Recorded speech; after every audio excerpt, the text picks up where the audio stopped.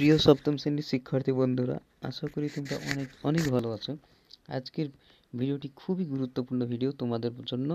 তোমাদের text text বইয়ে যে সমস্ত প্রশ্ন দেওয়া আছে নোট বই মানে কবিতা থেকে, সেই সমস্ত টেক্সট বইয়ের এই অ্যান্সার, অর্থাৎ প্রশ্নের অ্যান্সার নিয়ে থাকছে আজকের ভিডিও।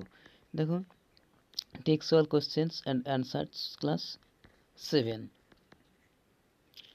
Note বই মানে বিষয় হলো বাংলা এবং পর্ব, অর্থাৎ তোমাদের কবিতা, নোট বই, সুকুমার রায়, নোট বই থেকে। আগে বল, এখানে দেখো, একটু বলে রেখেছি যে টাইপিং মিস্টেক হলে কমেন্ট করবে। অবশ্যই তোমাদের কোনো অসুবিধা হলে মানে বুঝতে যদি অসুবিধা হয় কিংবা টাইপিং যদি মিস্টেক হয়ে যায়, তাহলে তোমরা কমেন্ট করবে, আমরা যত সাধ্য চেষ্টা করব রিপ্লাই দেওয়ার। দেখো, একের এক তোমাদের বইয়ে আছে, প্রশ্ন আছে যে নোট বই কী ধরনের লেখাতে ভরা? নোট বই কী ধরনের লেখাতে ভরা? এখন নোট বই কিলবিল লেখাতে ভরা।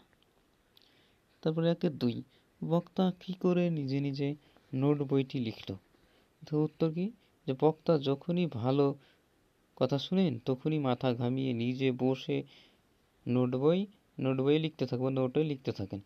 এভাবেই তিনি বইটি লিখলেন। এবার দুই নম্বর মানে একের দুটোই ছিল, একের এক, দুই।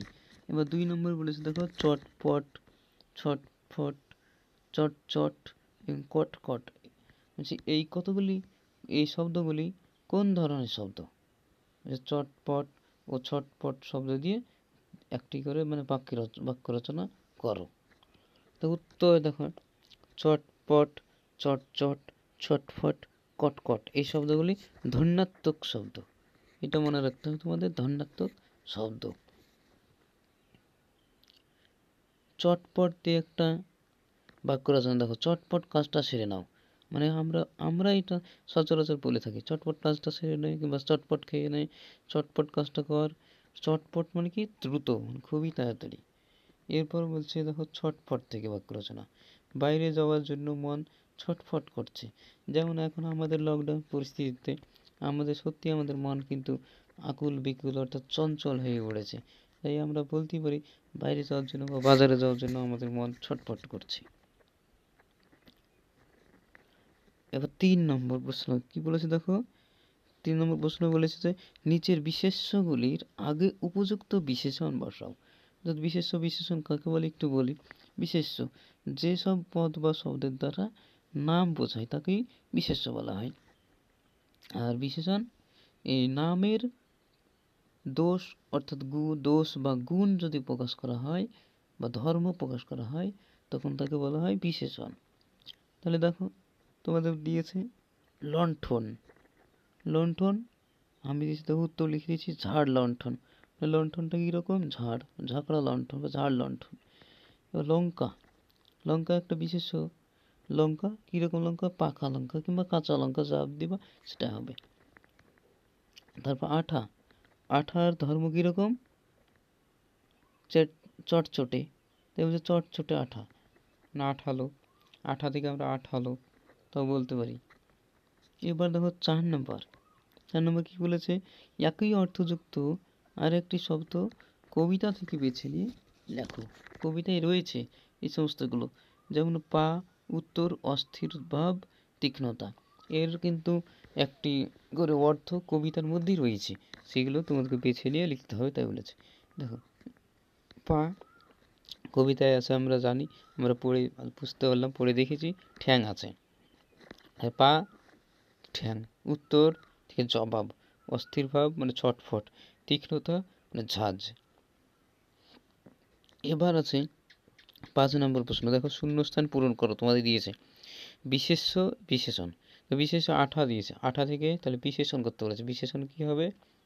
আঠালো। দেখো আমি বয়সী মধ্যাহ্ন লিখিয়ে রেখেছি, এটা বিশেষণ। বিশেষণের এটা রূপ, সংক্ষিপ্ত রূপ। আঠা থেকে আঠালো। তারপর দিয়েছে দেখো, বিশেষণ দিয়েছে মানসিক। মানসিক বিশেষণ যদি হয়, তাহলে বিশেষ্য কী হবে? মন বা মনন। মানুষ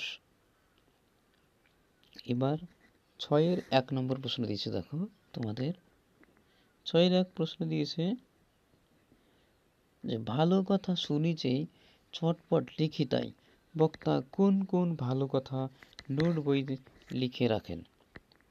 দেখো, বক্তা নিজের মনে আসা সমস্ত প্রশ্নগুলি নোট করেছিলেন। যেমন ফড়িংয়ের কটা ঠ্যাং আরশোলাকে কী খায়? কাতুকুতু দিলে গরু ছটফট করে কেন? আঙুলে আঠা লাগলে চটচট করে কেন? ইত্যাদি ইত্যাদি নানান ধরনের প্রশ্ন। তো ছয় দুই। তো কাল থেকে মোর মনে লেগে আছে খটকা। কাল থেকে মনে কি খটকা লেগেছে? খট, এই খটকা কীভাবে দূর হবে? দেখো, ঝোলা গুড় কিসে দেয়? সাবান না পটকাতে? এ নিয়ে বক্তার মনে কিন্তু বিশাল একটা সন্দেহ বা খটকা লেগে রয়েছে। এই প্রশ্নের উত্তর মেজদাকে জিজ্ঞাসা করে জেনে নেবে, ফলে তার খটকা দূর হবে। বা ছয় তিন ছয় তিন অর্থাৎ তোমাদের তোমাদের আলোচনার, তোমাদের টেক্সচুয়াল প্রশ্নের আজকে শেষ প্রশ্ন এটা, ছয়ের তিন। কারণ তোমাদের টেক্সটে আর কোনো প্রশ্ন নেই। বলবে কি তোমরা নোট বই পড়নি? নোট বই পড়লে আর কি কি জানা যাবে? দেখো, খুবই গুরুত্বপূর্ণ প্রশ্ন এটা। যে নোট বই পড়লে কি কি জানা যাবে? এই নোট বই পড়লে অনেক কিছু, অনেক অজানা জানা যাবে। যেমন পেট কেন কামড়ায়, পিলে বা প্লিহা যকৃত কেন চমকায় বা চমকিত হয় তেজ পাতায় তেজ কেন, ঝাল কেন লঙ্কায় ইত্যাদি ইত্যাদি নানান ধরনের প্রশ্ন যার উত্তর জানা যাবে। এছাড়াও দুন্দুবি কাকে বলে, অরণি কাকে বলে, এই সমস্ত প্রশ্নের অজানা জানা যাবে। এই ছিল তোমাদের আজকের প্রশ্ন উত্তরের পর্ব। আশা করব ভিডিওটি থেকে তোমরা উপকৃত হবে। আর যদি উপকৃত হয়ে থাকো, তাহলে আমাদের চ্যানেলের পাশে থাকো সুস্থ থাকো, সুন্দর থাকো, আর ভিডিওগুলি বন্ধুদের সঙ্গে প্রচুর প্রচুর পরিমাণে শেয়ার করো। ধন্যবাদ।